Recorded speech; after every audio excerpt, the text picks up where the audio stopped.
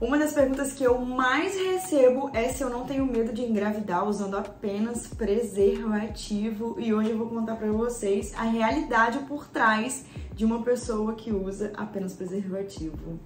Me aguardem.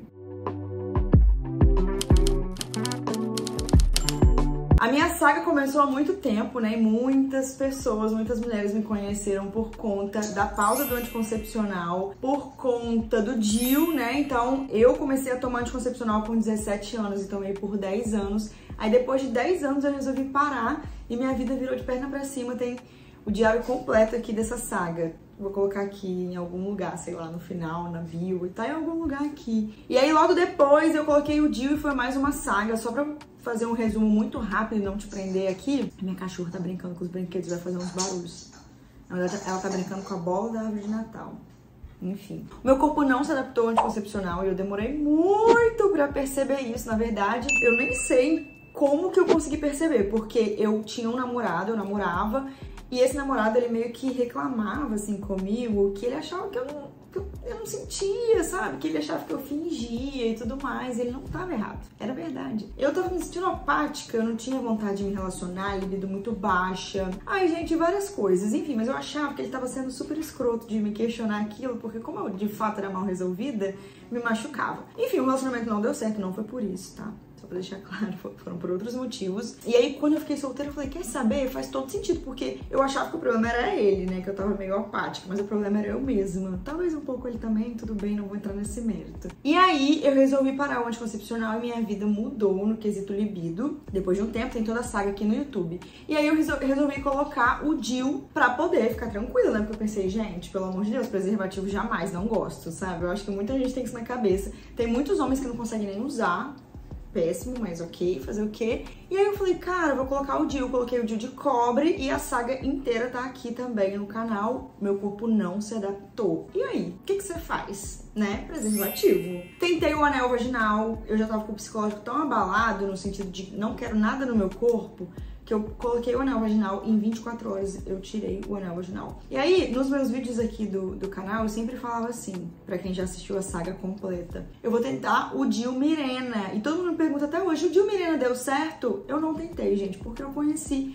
meu namorado, que atualmente é quase meu marido, é meu namorado. Quando eu conheci ele, o Marcos tinha outro pensamento, o que foi um super diferencial e ajuda muito.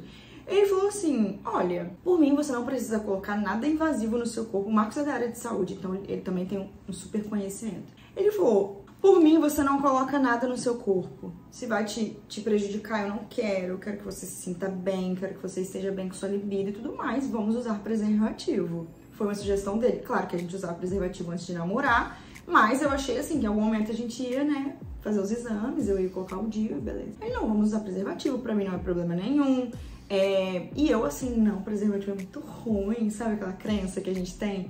Não, preservativo é muito ruim, ai, não vou me sentir segura e tudo mais. Tentei colocar o anel, como eu falei com vocês, tirei depois de 24 horas e pensei, cara, realmente, o que ele tá falando tem sentido, vou tentar, tá? Vou tentar. E aí a gente começou a testar alguns preservativos, a gente testou ah, não vou entrar em marcas, né? Ninguém quis me pagar público aqui, não vou entrar em marcas. Mas até que a gente chegou num preservativo que eu acho super válido vocês testarem, inclusive, que ele é sensitive. E aí, caraca, quando a gente encontrou esse, eu falei, hum, esse aí vai funcionar, beleza? Então, eu só uso preservativo hoje em dia, eu e meu parceiro, né? Eu e o Marcos só usamos preservativo. E aí as pessoas ficam questionando se minha cabeça não buga. Tem muita mulher que fala, Letícia, eu fico noiada.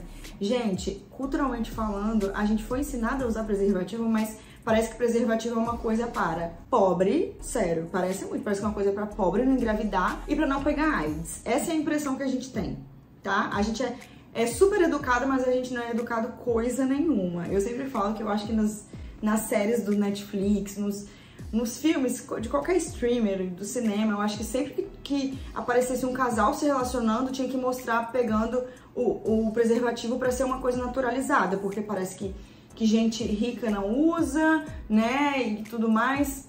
Não é por aí, é que a gente não foi ensinado direito, né? Parece que tá na nossa cabeça, mas não tá. Então, preservativo serve para você prevenir qualquer tipo de doença e serve para você prevenir a gravidez. Ele é seguro Sim, tá? Ele é seguro, sim.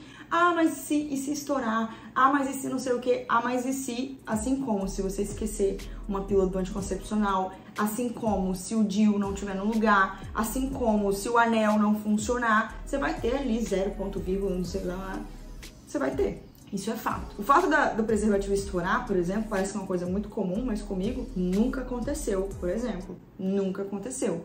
E se acontecer, você ainda tem a opção de tomar a pílula do dia seguinte, aí sei lá quantas horas depois que você pode. Enfim. Então o primeiro ponto é que é seguro. A questão não é que a, ciência precisa provar pra gente, a questão é a nossa mente, que eu sei que talvez na sua cabeça também seja isso. De ficar perturbada. Então no início eu ficava perturbada, tipo assim, mano, será mesmo que isso tá sendo seguro? Será mesmo que isso tá sendo seguro? Porque aí quando você fala assim, ah, estou usando preservativo. Ah, minha tia já engravidou assim. A minha amiga engravidou assim. Ai, eu engravidei assim. É sempre assim, aparece um monte de gente com feedback negativo. E aí vem outro ponto também, que é a forma como ele é usado. Tem gente que usa para interromper coito, pelo amor de Deus. Tem gente que faz todas as pré-eliminares e aí depois já começou ali, lembra do preservativo? Não é por aí. Você precisa usar do início ao fim. Então, vamos ter consciência. Outro ponto é o cara não saber colocar acontece. O cara brochar porque usa, acontece. O cara não conseguir ter o orgasmo dele porque usa, acontece também. E os caras negam isso e jogam tudo para nossas costas. Então, perceba que culturalmente falando também, você tem que correr atrás desse rolê, como se a gravidez fosse uma responsabilidade extremamente sua, porque é você que vai carregar na barriga. Respira, isso é totalmente cultural. Quando você tem uma relação com alguém, as duas pessoas, em sã consciência, estão responsáveis por tudo que acontecer. Então, se o cara não consegue usar preservativo, isso é um problema que ele precisa resolver. Por exemplo, automaticamente você não tem responsabilidade de ter que fazer tudo, porque o cara pera lá, tá? Porque existem outros métodos, mas eles são muito agressivos para nós mulheres. Então, conversa com seu parceiro, sabe? A gente fica tentando tanta coisa nas mulheres, por que, que o cara não pode tentar também se adaptar ao preservativo, né? Machismo. Machismo! é mais ou menos por aí. Então, usar direito, aí vai ter os mitos das pessoas que engravidaram usando preservativo, e eu acredito porque muita gente usa errado, muita gente usa só no final, muita gente fala que usa e não usa. Preservativo vencido, e tudo mais. Tem mil questões, aí vai depender de você, tá? Hoje, eu, Letícia, não me sinto nem um pouco insegura. Sabe o que é nem um pouco insegura? Nem um pouco insegura. Primeiro porque a gente usa direitinho, a gente não dá vacilo, mesmo se eu tiver naqueles dias, mesmo se eu não tiver no período fértil, eu não faço tabela, esse negócio de, ah, deixa eu ver na minha tabela pra gente poder fazer sem. Não, a gente sempre usa tá? A gente sempre usa. Então não me sinto insegura. O Marcos sempre verifica depois pra ver se tá tudo certo, se não furou, apesar de que quando fura você sente, sabe? Mas ele sempre verifica tudo certinho. Então a gente tem muita responsabilidade sobre as nossas escolhas. A gente quer sim ter prazer, mas a gente não quer ter um filho agora. É, no nosso caso não é para prevenir doença, porque a gente já tem um relacionamento, nós dois é, temos os exames, tudo certo. Mas a gente não quer ter um filho agora, então é por isso que a gente usa. Questão de prazer, Letícia, seja sincera. Gente, pra mim, não é problema nenhum usar o preservativo. Não me deixa com menos prazer. Você já teve relação com o seu namorado sem? Já. não muda em nada, por várias questões. É, não virou um empecilho pra gente, tá? O preservativo, ele faz parte do momento, então tem todo um, um, clima, não é aquela coisa de, ai meu Deus, é um caos. E isso é muito do homem, às vezes tem cara que cria um caos, que, ai, tá apertado pra mim, tá muito apertado. Oh, meu Deus, meu filho, você não sabe colocar ou comprar o preservativo pro tamanho do seu negócio, o problema também tá em você. Então são coisas que vocês vão adaptando. Pra mim não faz diferença no prazer, não faz diferença no sentir com esse preservativo que a gente tentou, por isso que você tem que testar vários, não desiste. E uma coisa que é muito boa é que hoje eu me sinto livre, assim, sabe? Ah, eu não tenho DIU, não tenho anticoncepcional, eu não tenho... Ah, né, eu não tenho nada, cara, o meu corpo, ele funciona naturalmente. E eu respeito o meu corpo, sabe? Eu não me sinto pressionada com nada.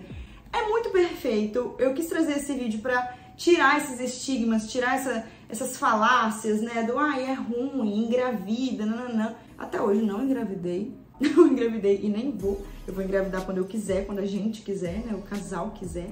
Ah, mas e se o 1% acontecer com você, minha filha? Aí pode acontecer de qualquer forma, então, sem. O que mais que falam? Nunca estourou, com a gente nunca estourou, mas se estourar, beleza, a gente vai resolver, porque tem solução. E acho que é isso, achamos o preservativo certo, não foi do dia pra noite, a gente foi testando, e aí você tem que ter o seu, seu estoquezinho, né? Seu estoquezinho no cantinho da sua, da sua cama, ali na sua cabeceira, no carro, na carteira. Porque quando vocês quiserem que role alguma coisa, vai rolar. Se você tá muito incomodada com tudo isso, dá um tempinho para você, conversa sempre com seu parceiro, não faz nada forçado, nem o, só o uso de preservativo ou anticoncepcional tudo mais. Eu quero que você se questione tudo ao seu redor, assim. Será que o seu parceiro se preocupa com a possibilidade de vocês terem um filho? Porque essa preocupação tem que ser dupla. Será que o seu parceiro se esforça para conseguir usar preservativo? Porque ele tem que se esforçar, porque a gente se mata tomando pílula. A cada dia, pílula é extremamente prejudicial.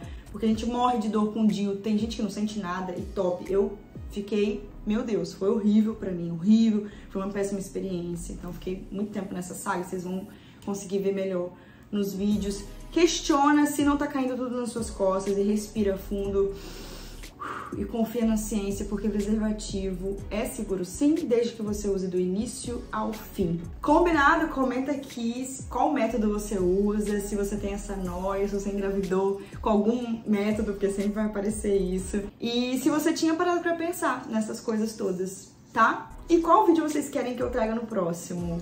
Sei lá, sobre a saga de alguma coisa, assim, que eu tenha vivido. Eu sei que muita gente pergunta das espinhas, do cabelo. Acho que vocês vão assistir lá a saga e vocês vão voltar pra esse vídeo aqui com um monte de dúvida. Posso responder tudo no Instagram também, tá? Um beijo, tchau!